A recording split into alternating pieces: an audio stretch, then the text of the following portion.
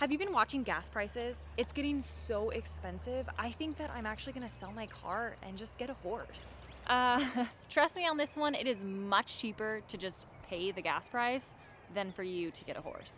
It's actually not that expensive because I saw a free one on Craigslist. Yeah, so it's not the price of the horse that's gonna get you, it's the care and the upkeep for the rest of its life. Plus, Craigslist, come on.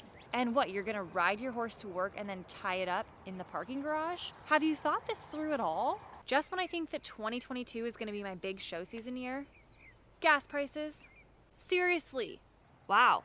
A lot of people are giving horses away for free right now. You know, I've noticed that too. It's probably because gas prices just went up. I know I don't know anything about horses, but I do know that they don't run on gas. nice try. Yeah, they don't, but the farm equipment that cuts and bales the hay does, and so do the semis that deliver the hay, so caring for a horse is about to get very expensive.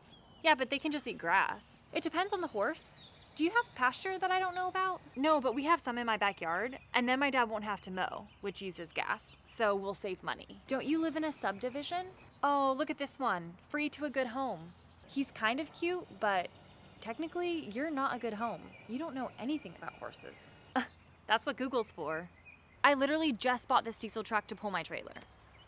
It's not gonna be going anywhere, but I guess at least it looks pretty parked. There's gotta be some cheap diesel here. This is Texas. 539. No. 620? If you pay with cash? Seriously, who falls for that?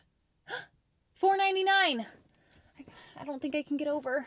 I gotta get over. I'm coming over. Yeah, I was calling to see if you guys had any fully electric trucks that could pull about 12,000 pounds. Yeah, no, that won't work. Tesla, really? I thought they only did sports cars. Interesting. Wow, is this the inside of the truck?